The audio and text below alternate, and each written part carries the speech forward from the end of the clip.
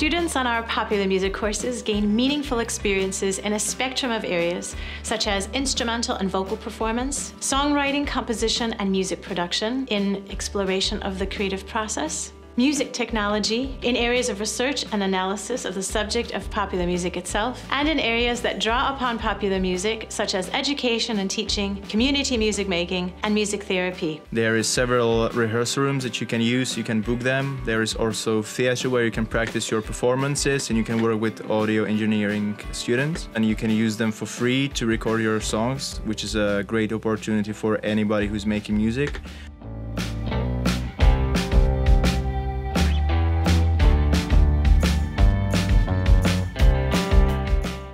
Uh, the staff here have been absolutely amazing. Just through building relationships with them, I've managed to kind of get out and get you know real work, like out in the industry, playing in wedding bands, doing kind of pit work and all that sort of thing. Having that relationship with them has really helped build my portfolio